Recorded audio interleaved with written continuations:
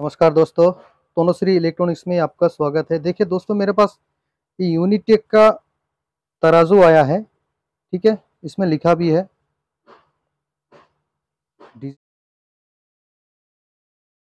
इसमें दिक्कत क्या रहा है? देखिए, बड़ा सा है, बहुत बड़ा है।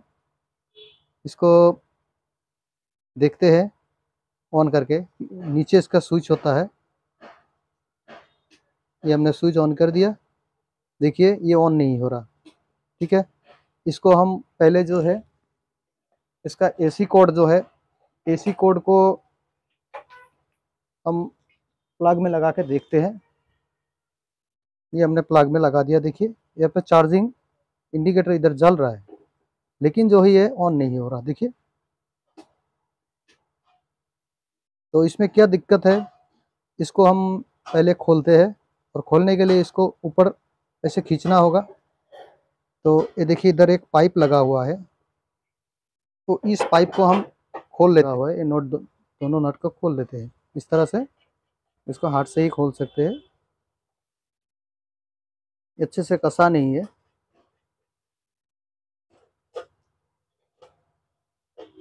इसको आज देखते हैं क्या दिक्कत है इसमें। इस पाइप को हटा देते हैं। दोस्तों, हमने इसका स्क्रू खोल दिया है तो इसको खोल लेते हैं ढक्कन। ये देखिए, इस इस तरह से इसका बोर्ड होता है। तो इसमें हमें पहले देखना होगा, ये जो स्विच होता है, ये स्विच देखिए हरदम यूज़ होता है। ये स्विच भी ख़राब हो सकता है। तो पहले इसका जो स्विच है तो इसका हम बर्जर मोड में लगा करके इसका स्विच हम चेक कर लेते हैं। चैनल पे नए हो तो सब्सक्राइब ज़रूर कीजिए। साथ में बेल आइकन को भी प्रेस कीजिएगा। हमको इसका पहले स्विच चेक करना है, क्योंकि हर, ज़्यादातर ये स्विच ख़राब होता है। ये हमने बर्जर मोड में लगा दिया। देखते हैं। ये ये देखिए, ये हमारा स्विच जो है बिल्कुल वर्क कर रहा है, इसको बंद करते हैं। देखिए, ये बंद हो गया। ये ऑन करते हैं।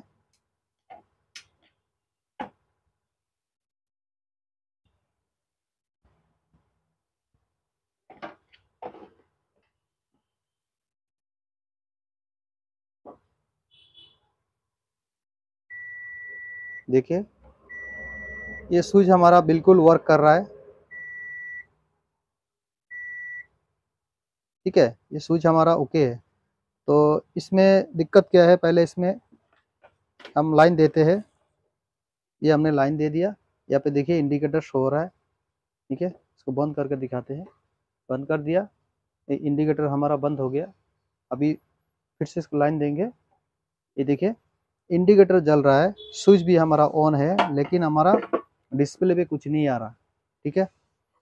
तो इसमें डिस्प्ले में कुछ नहीं आने का कारण क्या है? तो पहले इसमें हम एक चीज़ आपको दिखाते हैं।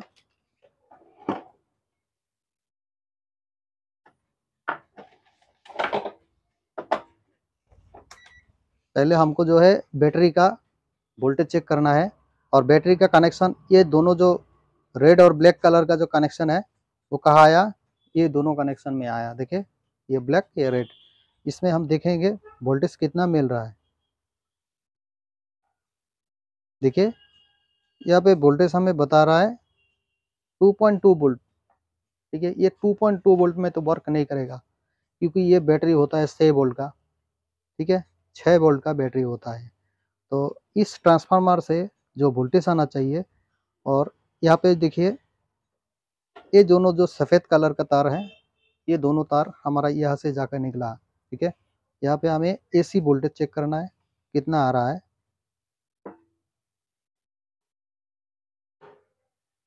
एसी वोल्टेज हमारा सिक्स वोल्ट दिखा रहा है, ठीक है? एसी वोल्ट हमारा यहाँ से सिक्स वोल्ट एसी निकल रहा है। तो यहाँ पे कुछ शॉर्ट होना चाहिए, नहीं तो ये ट्रांसफार्मर में लिखा है, देखिए, बारह वोल्ट ठीक है?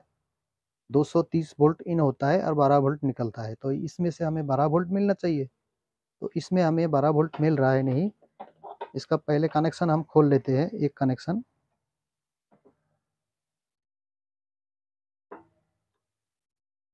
ये हमने इसका एक कनेक्शन खोल दिया।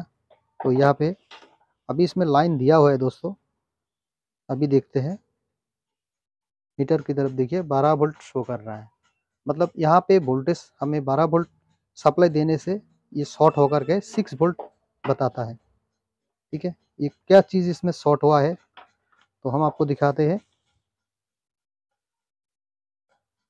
फिर से इसको कनेक्शन कर दिया इंडिकेटर इधर जल रहा है। ठीक है? तो इसमें क्या प्रॉब्लम है? इसका जो डिस्प्ले है, खोल लेते हैं पहले। नहीं तो आपको अच्छे से नहीं दिखेगा। इसमें दो ही स्क्रू होता है। इसको निकाल के उसके बाद आपको दिखाते हैं। ये हमने इसको निकाल लिया है। ठीक है? अभी इसमें लाइन देते हैं और देखते हैं।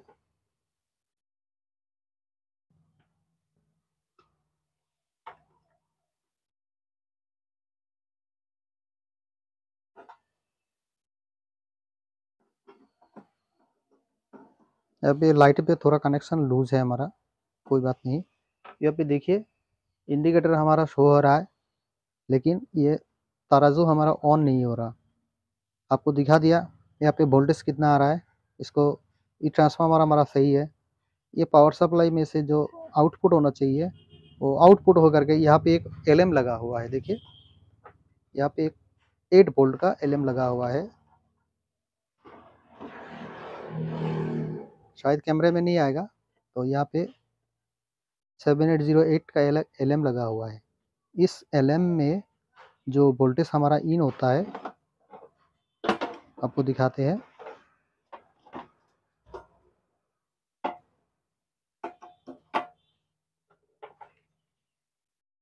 और हमने इधर ग्राउंड पकड़ लिया। एल एम का ये ग्राउंड होता है, ठीक है? मतलब नेगेटिव होता है।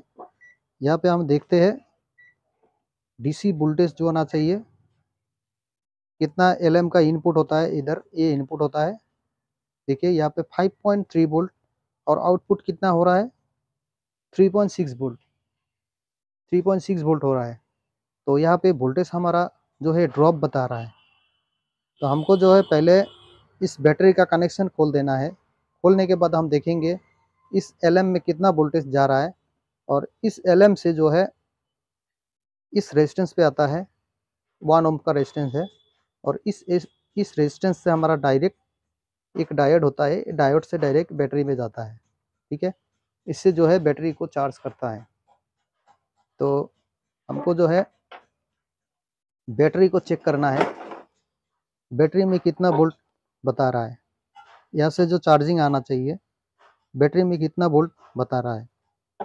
देखिए बैटरी खोल देने के साथ साथ ये ऑन हो गया। है तो बैटरी हमारा क्या है? ख़राब है।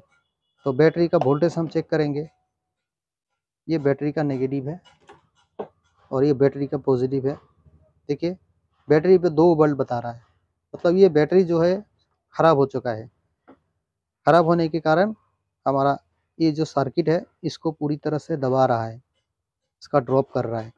तो इसमें हम एसी खोल देते हैं। एसी खोल देने के साथ साथ ये बंद हो गया। एसी दे दिया, फिर से ये चालू हो जाएगा। ठीक है? तो इसका कनेक्शन हम खोल देते हैं। एक इसमें हम और एक जुगाड़ लगाएँगे। ये बैटरी मान लीजिए ख़राब हो गया। तो आपको किस तरह से चौक, चेक करना है? ये दोनों हमारा बैटरी का कनेक्शन है नेगेटिव और पॉजिटिव इसमें जो है, इसका वोल्टेज इसमें आना चाहिए। तो इसको फिर से ऑन करते हैं। और अभी वोल्टेज इसमें चेक करते हैं। जो चार्जिंग वोल्टेज होता है, कितना आ रहा है? सेवन बोल्ट यहाँ पे आ रहा है। तो मतलब इस इस बोर्ड हमारा, ये जो बोर्ड है, बोर्ड हमारा सही है, ख़राब हमारा बैटरी है, ठीक है? तो अभी इसमें मान लीजिए लाइन नहीं है, करंट नहीं है तो आपको इसको कैसे चेक करना है? ये जो बैटरी का कनेक्शन है इसमें हम ये जो 3.7 वोल्ट का बैटरी मिलता है हाँ? 3.7 वोल्ट का बैटरी, इसको हम यहाँ पे लगा के देखते हैं, ये काम करता है या नहीं। ये पॉजिटिव को पॉजिटिव में लगा दिया नेगेटिव को नेगेटिव में। देखिए, ये काम कर रहा है। बढ़िया से वर्क करेगा। क्योंकि ये बैटरी जो है, यहाँ पे चल नहीं सकता है।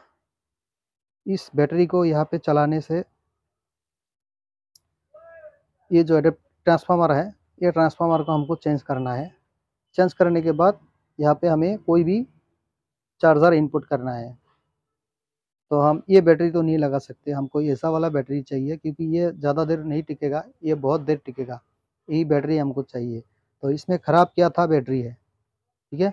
इसका ख़राबी है बैटरी में, और कोई ख़राबी नहीं है इसमें। सर्किट वगैरह सब ठीक है। अभी इसमें हम आपको दिखाते हैं, एसी फिर से लगा देंगे। लगा देने के बाद अभी यहाँ पे जो हमारा आपको बताया एलएम है, इस एलएम में हमें कितना बोल्ट इनपुट मिल रहा है। देखिए, ये वाला पहला पॉइंट है इनपुट इसको चेक करते हैं। तेरह बोल्ट आ रहा है। ठीक है?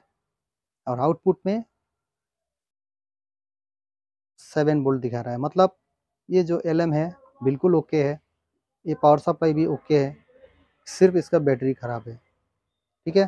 तो अभी इसमें एक बैटरी लगाए, लगा देने से ये सही हो जाएगा। आपको समझ में आ गया? अगर इस तरह का प्रॉब्लम आपके पास आए तो पहले आप बैटरी को चेक कीजिए, बैटरी का एम्पेयर चेक कीजिए। बैटरी में कितना बोल्ट आ रहा है, वो चेक कीजिए। और ये जो चार्जिंग पॉइंट आ रहा है, जो कनेक्शन आ रहा है, इसमें आउटपुट कितना आ रहा है? मतलब चार्जिंग बोल्ट आपको कितना मिल रहा है, वही आपको चेक करना है। ठीक है? देखिए, सेवन बोल्ट चार्जिंग बोल्ट आप बता रहा है। इस सेवन बोल्ट से बैटरी आराम से चार्ज हो जाएगा। इसके लिए सही है। तो इसमें हम एक नया बैटरी लगा देंगे। ये सेट हमारा ओके हो जाएगा। ठीक है? तो वीडियो कैसा लगा? लाइक कीजिए, शेयर कीजिए, सब्सक्राइब ज़रूर कीजिए। Thank you.